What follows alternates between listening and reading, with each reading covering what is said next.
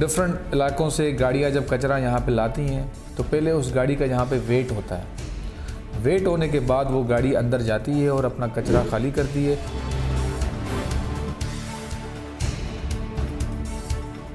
फिर जब खाली गाड़ी वापस आती है तो वो दोबारा उसका वेट होता है। तो इससे हमें नेट वेट जो कचरे का है, उसका हमें पता चल जाता है कि नेट वेट कचरा आज का या पूरे महीने का या इस गाड़ी का इतना है।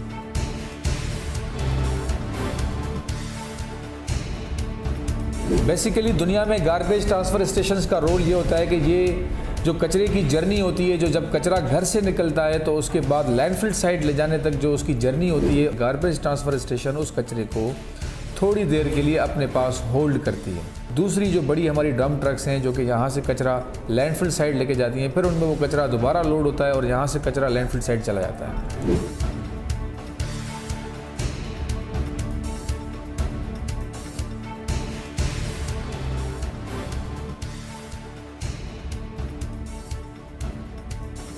ये जो प्रैक्टिस है, ये सॉलिड वेस्ट मैनेजमेंट बोर्ड बनने से पहले कहीं पे भी कराची में नहीं थी। ये फ़र्स्ट टाइम इंट्रोड्यूस हुई और ये इन ताला इसको मज़ीद मॉडर्नाइजेशन की तरफ़ ले जाने के लिए हमारी रिसेंटली एक मीटिंग हुई है। उसमें इस जीटीएस को हम मॉडर्न जीटीएस बनाने जा रहे हैं, जैसे दुनिया के मॉडर्न कंट्रीज़ में जी होते हैं। हमारा आज़म, साफ़ सुथरा और सेहतमंद